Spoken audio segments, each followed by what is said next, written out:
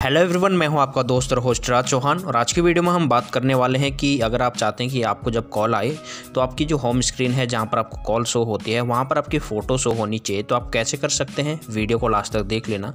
अगर आप एक भी स्टेप अगर आप जो है मिस करेंगे तो शायद आप नहीं कर पाएँगे तो वीडियो को लास्ट तक देख लेना। चैनल को सब्सक्राइब नहीं किया तो चैनल को सब्सक्राइब कर लीजिए बेलाइकन को प्रेस करके ऑल पर सेलेक्ट कर दीजिए। तो चलिए दोस्तों, बिना टाइम वेस्ट के इस वीडियो को स्टार्ट करते हैं।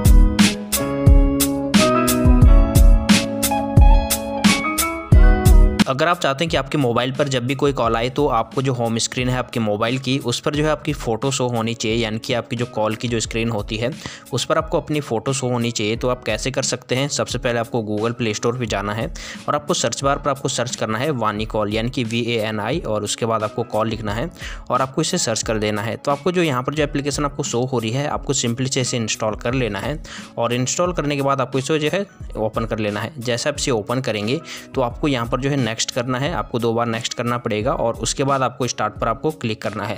जैसे आप स्टार्ट पर क्लिक करेंगे, इसके बाद आपको यहाँ पर ये दो परमिशन पूछेगा तो आपको दोनों को अलाउ कर देना है और इसके बाद आपको स्टार्ट पर क्लिक करना है। स्टार्ट पर क्लिक करने के बाद आपको ओके पे क्लिक करना है और उसके बाद आपको यहाँ पर लेटर पर क्लिक करना है। इसके बाद दोस्तों, मैं आपको बता देता हूँ कि आपको करना क्या है। आपको यहाँ पर जो है कुछ ऑप्शन शो होते हैं तो आपको जो है सबसे पहले आपको जो फोर्थ नंबर का जो ऑप्शन है, आपको उस पर क्लिक करना है और उसके बाद आपको जस्ट ऐड फ़ोटो पे आपको क्लिक करना होगा। यानी कि यहीं से आपकी जो फ़ोटो है, उसे ऐड करना है। तो आपको यहाँ पर जस्ट ऐड जो है फ़ोटो पे आपको क्लिक करना है और इसके बाद आपको कस्टम का एक ऑप्शन मिलेगा। तो कस्टम वाले ऑप्शन पे आपको सिंपली से आपको क्लिक कर देना है। कस्टम पर क्लिक करने के बाद आपको दो ऑप्शन शो होते हैं। पहला है गूगल फ़ोटो और दूसरा है गैलरी का। तो आप जो है यहीं से अपनी फ़ोटो को आप सिलेक्ट कर सकते हैं। तो जैसे आप फ़ोटो को सिलेक्ट करते हैं, इसके बाद आपको अप्लाई पे क्लिक करना है और अप्लाई पे क्लिक करने के बाद आपकी जो कॉलर स्क्रीन है, वहाँ पर जैसे आपको कोई कॉल आती है तो आपको जो है अपनी फ़ोटो शो होती है, जो आपने यहाँ पर जो है ऐड की है। तो इस तरीके से आप अपने मोबाइल की जो कॉलर स्क्रीन है, वहाँ पर अपनी फ़ोटो को ऐड कर सकते हैं अगर आप जो है ऐड करना चाहते हैं।